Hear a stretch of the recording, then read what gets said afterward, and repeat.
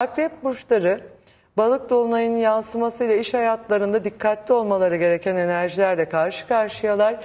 Gizli ve açık düşmanlıklar, sırların deşifre edilmesi, dolunayın onlara yansıyan etkileri arasında özellikle işinizle ilgili konularda birileriyle rekabete girdiyseniz nerede durmanız gerektiğini iyi belirlemelisiniz. Çünkü asla ortaya çıkması istemediğiniz belgeler, sırlar bu dönemde deşifre olabilir ve itibarınızı zedeleyecek durumlarla ciddi imtihanlar verebilirsiniz. Aman dikkatli olun.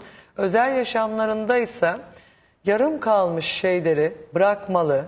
Gereğinden fazla anlam yükledikleri, zihinlerinde yarattıkları insana gereğinden fazla değer vermekten uzaklaştıkları anda, bitirdikleri, noktayı koydukları anda aşkı bulabilecekleri, Ay, sürpriz gelişmelerle hayattan keyif alacakları enerjiler söz konusu fakat nasıl ki arkanıza bakarak yürüyemezseniz olmayan bir şeyi varmış gibi kalbinizde tutmaya ve ısrarcı olmaya devam ederseniz mutluluğun gitgide sizden uzaklaşması kaçınılmaz olacaktır diyebiliriz kısaca. Peki.